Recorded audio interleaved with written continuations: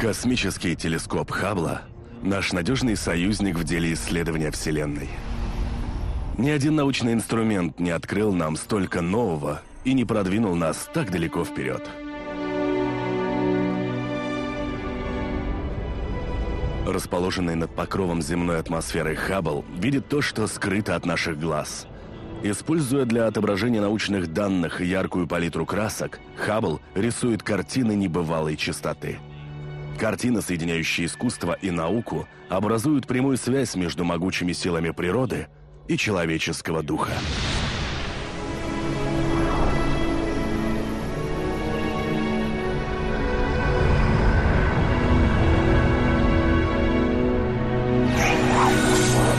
Картины Хаббла.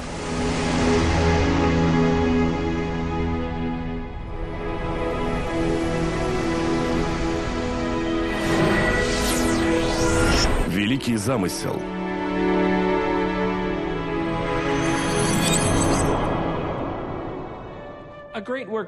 Произведение искусства не просто совокупность отдельных деталей, хотя мастерство проявляется в мельчайших деталях. Картина складывается из множества отдельных мазков, с помощью которых художник воплощает свою идею. Художник пишет полотно, чтобы воплотить в нем свой замысел.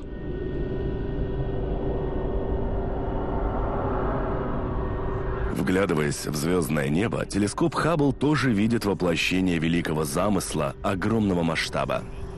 Особенно отчетливо этот замысел читается в изображениях великолепных спиральных галактик, разбросанных вокруг нас во Вселенной. Их рисунок воплощает неосознанное желание художника, а взаимодействие фундаментальных законов природы. Спиральная галактика М81, созвездие Большая Медведица.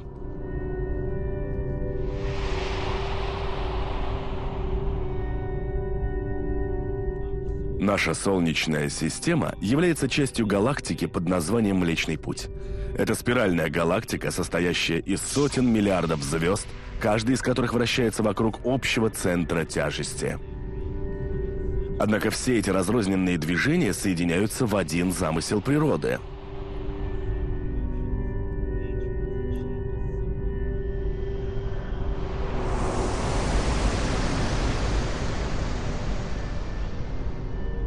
Наши предки даже не подозревали о существовании галактик. Только в сороковые годы 19 века появились достаточно сильные телескопы, в которые можно было разглядеть крохотные точки и линии, рассеянные меж звезд. В то время не существовало даже слова «галактика». Астрономы считали, будто все видимые звезды входили в состав Млечного Пути, который похож на широкий звездный пояс, охватывающий ночное небо. Млечный путь. Фото, сделанное с Земли.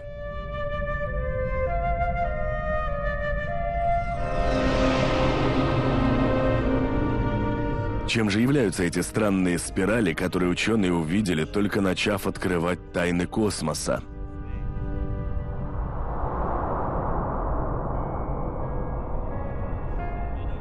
Многие астрономы считали, что это были новые солнечные системы, еще лишь начинавшие формироваться вокруг звезд. В 20-е годы прошлого века американский астроном Эдвин Хаббл навсегда положил конец этому заблуждению.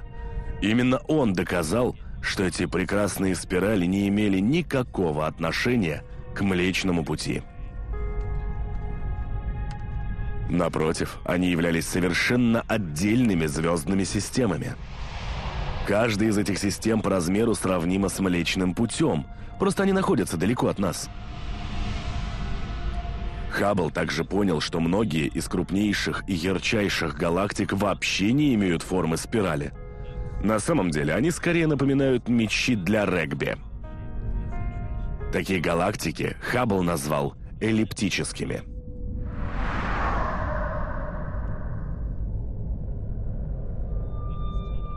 Только астрономам следующего поколения удалось понять, почему одни галактики имеют эллиптическую форму, а другие напоминают удивительные спирали.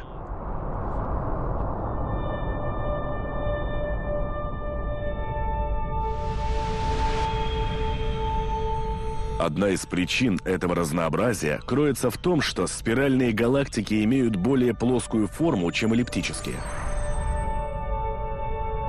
В отличие от эллиптических галактик, напоминающих сферу, спиральные больше похожи на тонкие диски. Это особенно заметно, если смотреть на спиральную галактику сбоку. Линзообразная галактика, созвездие Дракон –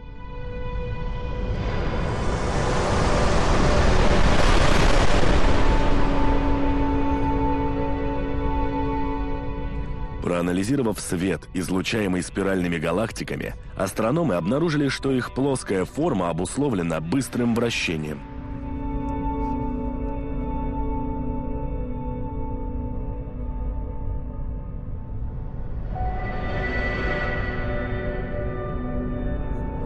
Сила вращения заставляет спиральные галактики принимать плоскую форму. Они расплющиваются, как тесто для пиццы. Однако этот факт не способен разрешить загадку спиральных рукавов. Напротив, он усложняет ее.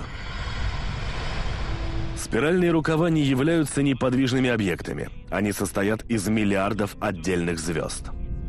Трудно понять, каким образом этим звездам при вращении вокруг центра галактики удается сохранять спиральный рисунок. Спиральная галактика NGC 3370, созвездие Лев – по закону всеобщего тяготения все должно быть совсем наоборот.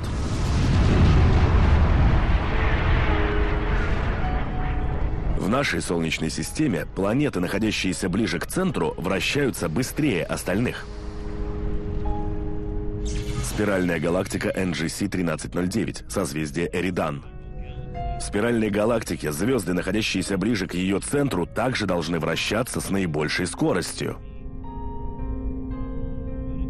Но будь это действительно так, спиральные галактики перекручивались бы уже после нескольких оборотов и вытягивались бы до неузнаваемости. Необходимо найти другое объяснение постоянной формы спиральных рукавов –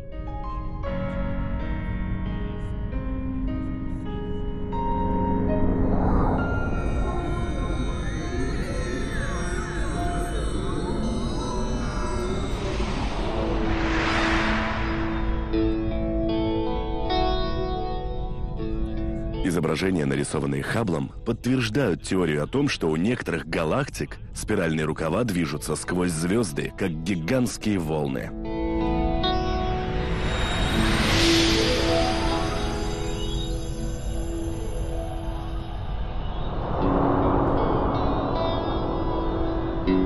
Например, все звезды в этой галактике вращаются по орбите вокруг ее центра, каждая со своей скоростью. Однако по мере вращения звезды также проходят сквозь спиральные рукава галактики. Рукава тоже движутся сами по себе, но не как тела, а как сгустки материи.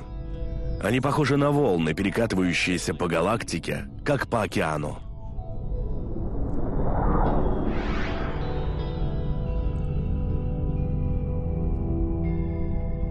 До Хаббла ни один телескоп не мог показать нам Вселенную в таких деталях.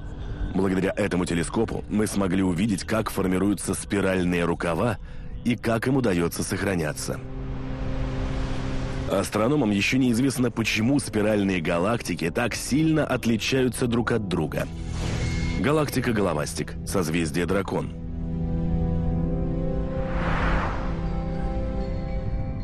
Хаббл изучил немало спиральных галактик, находящихся по соседству с нашей. Оказалось, что они так же разнообразны, как лица, которые можно увидеть на портретах в картинной галерее.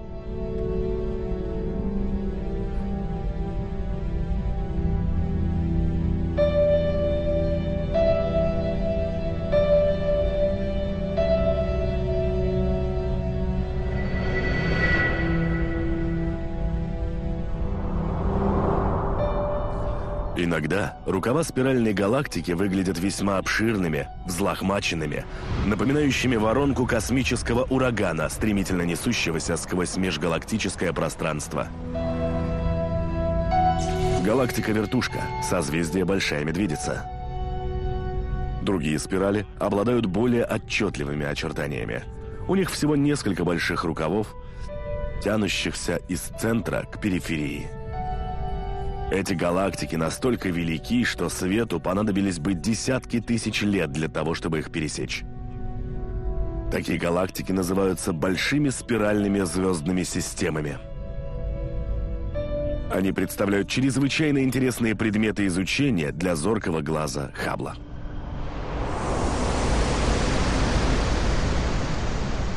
Спиральная галактика с перемычкой – созвездие Эридан. Расположена в 70 миллионах световых лет от Земли. Существуют также спиральные галактики с длинными перемычками, проходящими через центр. Спиральные рукава у них начинаются на концах перемычки. С точки зрения искусства, все эти разнообразные галактики выглядят как вариации на одну общую тему.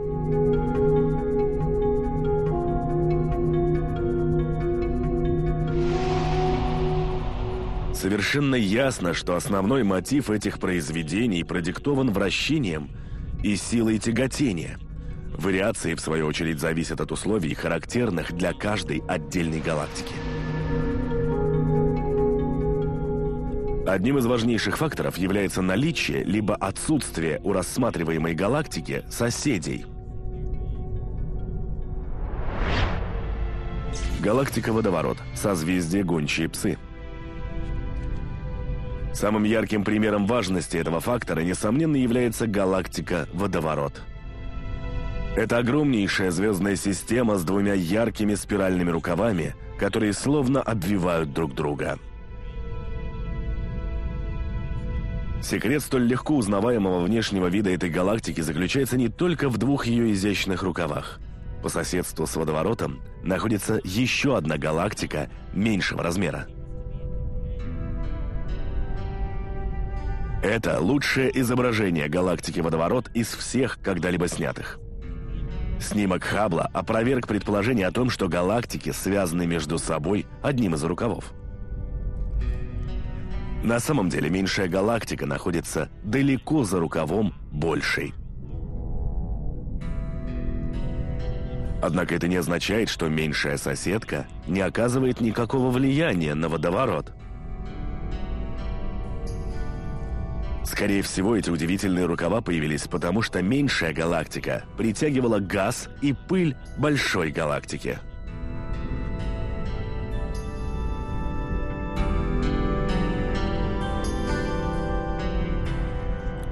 Благодаря мощной оптике Хаббла можно разглядеть, что спиральные рукава галактики Водоворот как бы являются гребнями волн звездообразования.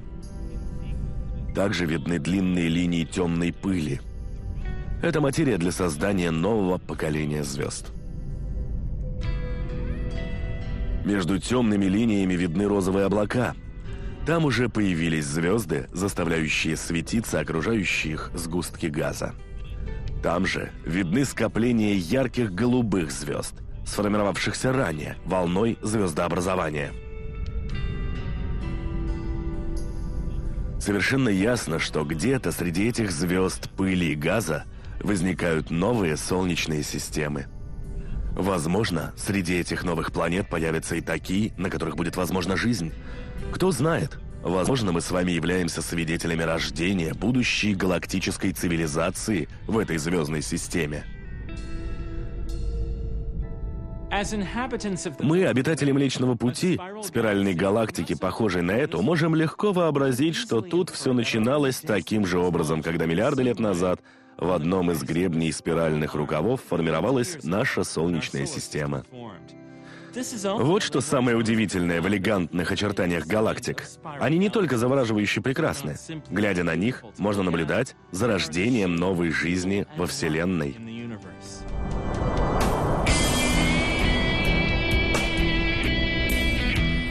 Галактики возникают благодаря силам тяготения — и вращению, что не обязательно свидетельствует о существовании высшего разума.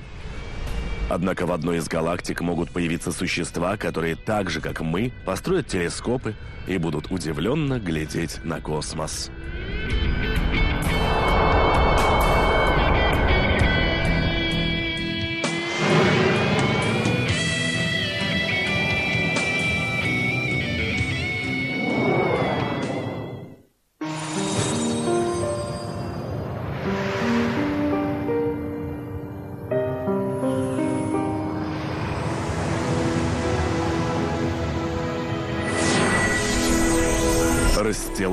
Холст.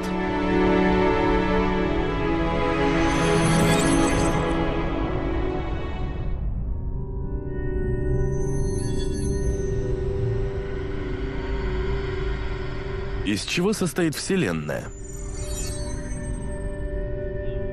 Для тех, чей глаз улавливает световые волны видимого диапазона, ответ на этот вопрос очевиден. С телескопом все еще проще разглядеть. Вселенная состоит из звезд. Огромные скопления звезд называются галактиками. В каком направлении не посмотреть, они повсюду. Далекие острова света, плывущие в пустоте. Но это совсем не полная картина.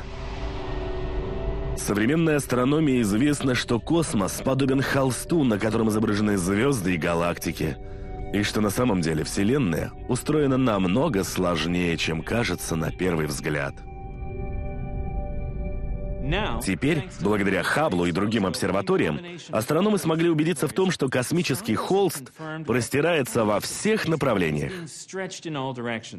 Даже в тех местах, где, казалось бы, ничего нет, разворачивается напряженная борьба с участием темной материи и темной энергии. Хаббл может зафиксировать этот процесс, но не напрямую.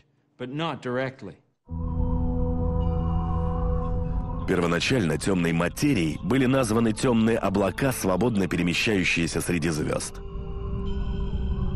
Однако на самом деле это всего лишь обычная пыль, поглощающая звездный свет – Настоящая темная материя не поглощает света и не излучает его. На самом деле она не темная, а совершенно прозрачная. Скопление галактик Эйбл 2667. Созвездие Скульптор. Астрономы не подозревали о существовании темной материи до тех пор, пока изучение скоплений галактик не позволило сделать вывод, что там недостаточно материи, которая могла бы обеспечить такое взаимное притяжение, чтобы удерживать эти галактики вместе.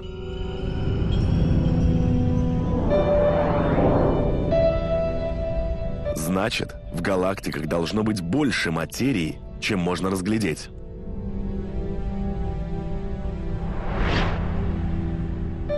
Затем, в результате изучения спиральных галактик наподобие этой, выяснилось, что во вращении этих систем есть что-то необычное. Звезды на краю галактики должны были бы двигаться по орбите намного медленнее, чем звезды в центре. Но этого не происходит. По крайней мере, они вращаются не так медленно, как можно предположить. Астрономы поняли, что это явление можно объяснить тем, что каждую галактику окружает большое, но совершенно невидимое нашему глазу скопление темной материи. Более того, астрономы предполагают, что количество невидимой темной материи в пять раз превышает количество той, что мы видим –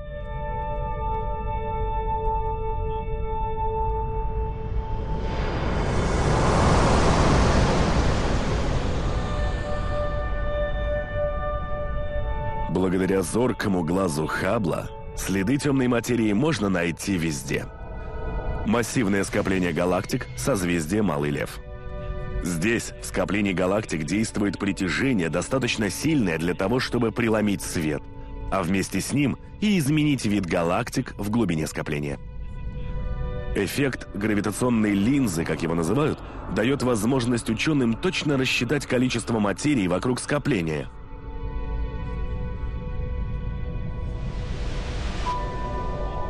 помощью Хаббла астрономы могут рассмотреть относительно пустые участки пространства, где вид галактик искажен лишь слегка.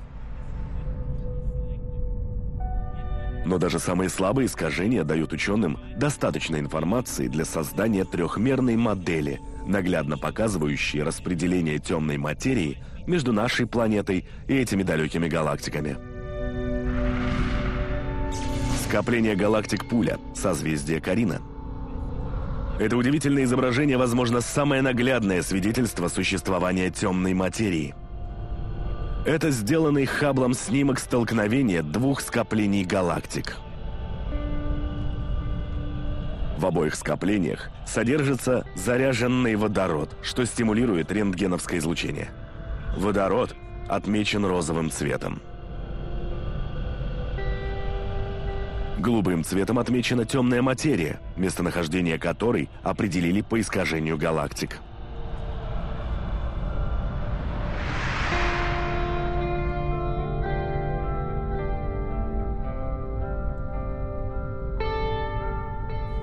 Тот простой факт, что голубые пятна отделились от розовых, означает, что облака из темной материи прошли друг сквозь друга, легко как призраки. Газовые же облака столкнулись, и от этого столкновения сжались и нагрелись. Очевидно, что темная материя отличается от обычной и обладает абсолютно другими свойствами. Хаблу наконец удалось заметить нечто совершенно недоступное человеческому глазу.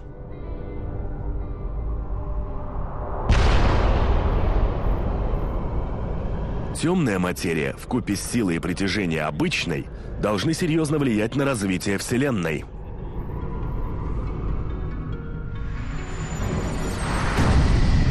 Вселенная расширяется с момента Большого Взрыва – Однако со временем гравитация должна замедлить этот процесс.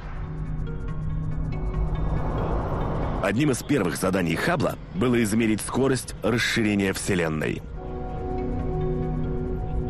Это задание кажется невыполнимым, однако Хабблу удалось его выполнить.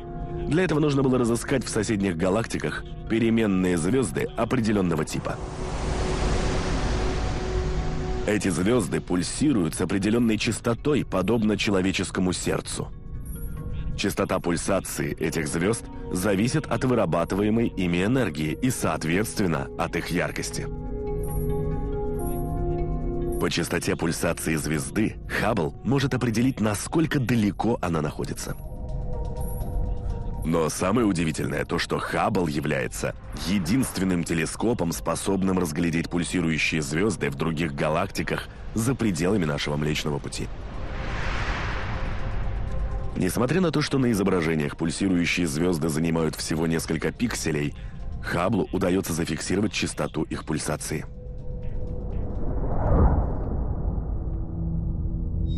Переменная звезда Цефеида. 23 апреля 31 мая.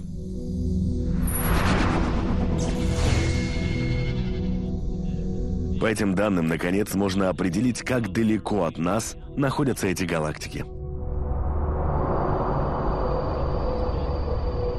Сложив результаты этого исследования с результатами других наблюдений, астрономы смогли измерить скорость расширения Вселенной и узнать ее возраст.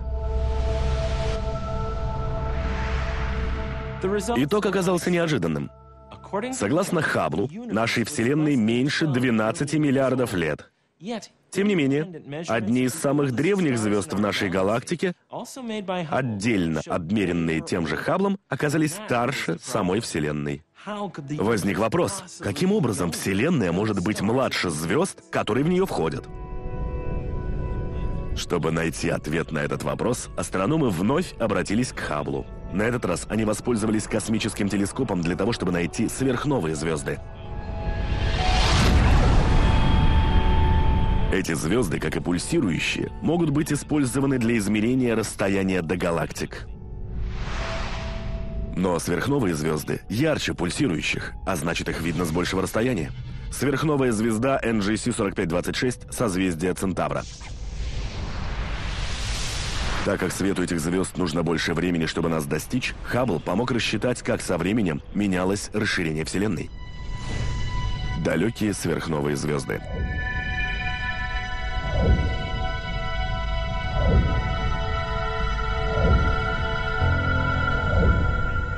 Изучив достаточное количество взрывов далеких звезд, астрономы пришли к удивительному выводу –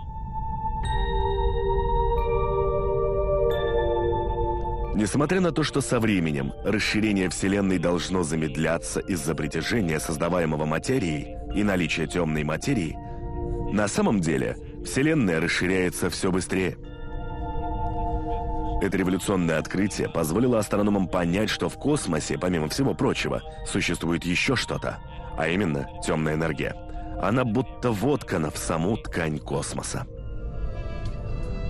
Ученые по сей день пытаются понять, чем на самом деле является темная материя. И что ожидает нас в далеком будущем? Ведь Вселенная расширяется все быстрее и быстрее. Пока мы можем только сказать, что вглядывающийся в космические глубины Хаббл показывает нам титаническую борьбу между невидимыми нам фронтами материи и энергии.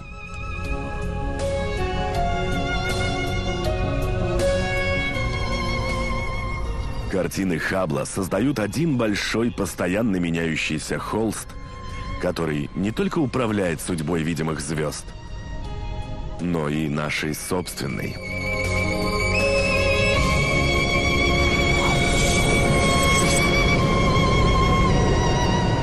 Картины Хабла.